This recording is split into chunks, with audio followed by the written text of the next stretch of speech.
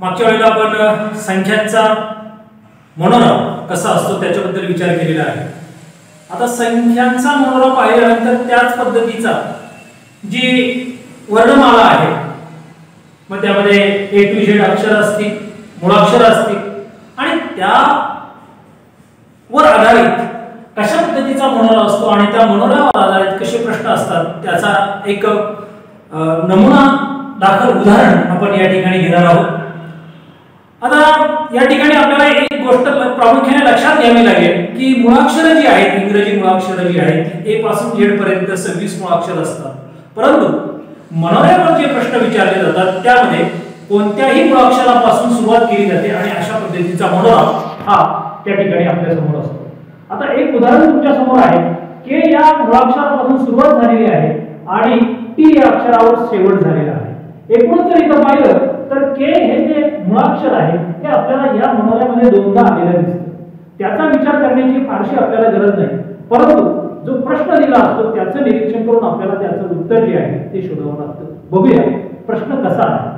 आता इथे दिलेला आहे M P U M R Y Q B C आणि प्रश्नचिन्ह.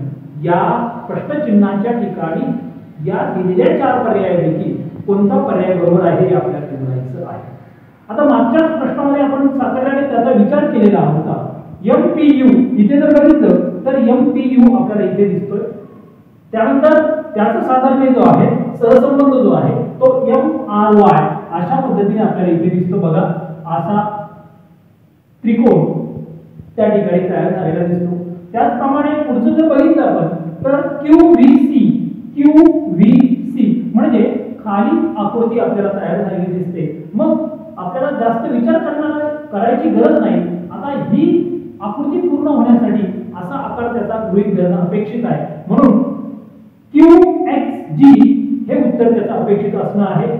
म्हणून पर्याय क्रमांक तीन क्यू एक्स जी हे या प्रश्नाचं बरोबर उत्तर असणार आहे.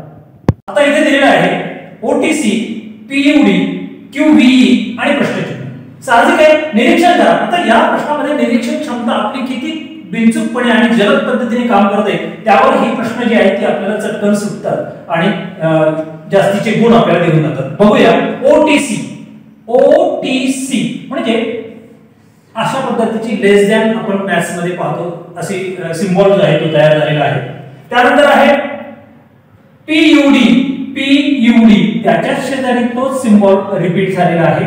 त्यानंतर पुढे जर बघितलं तर क्यू व्ही असा सिम्बॉल रिपीट झालेला आहे. म्हणजे तीन सिम्बॉल जे आहेत ते लेस दॅनचे आपल्याला रिपीट झालेले दिसतात. मग काय? जर बघितलं तर आर डब्ल्यू एफ हा जो आहे हा सिम्बॉल इथे रिपीट होतो. म्हणजे चार नंबरचा जो पर्याय आहे त्या चार नंबरचा पर्याय या प्रश्नासाठी बिनचूक असला पाहिजे आणि तो आहे आर डब्ल्यू एफ नंबर तिसरा प्रश्न आहे बघा P Q R R X F F E D आणि प्रश्नचिन्ह. बघा अतिशय सोपा प्रश्न आहे. पी क्यू आर बघा अशा पद्धतीने एक हॉरिझॉन्टल लाईन आहे.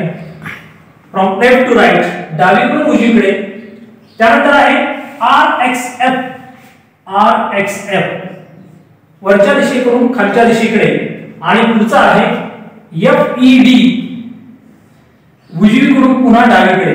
म्हणजे घड्याळाच्या काट्याच्या दिशेने आपल्याला ही क्रमिका पूर्ण होताना दिसते आहे. मग साहजिकच आहे. आपल्याला खालच्या दिशेकडनं वरच्या दिशेकडे जावे लागेल. मग इथे जर आपण बघितलं तर इथे थांबलेलो होतो आपण. म्हणजेच आपल्याला काय? डी व्ही पी खालच्या दिशेकडनं वरच्या दिशेकडे पूर्ण होत असताना आपल्याला डी व्ही टी म्हणजे पर्याय क्रमांक एक हे त्याचं उत्तर बरोबर असणार आहे.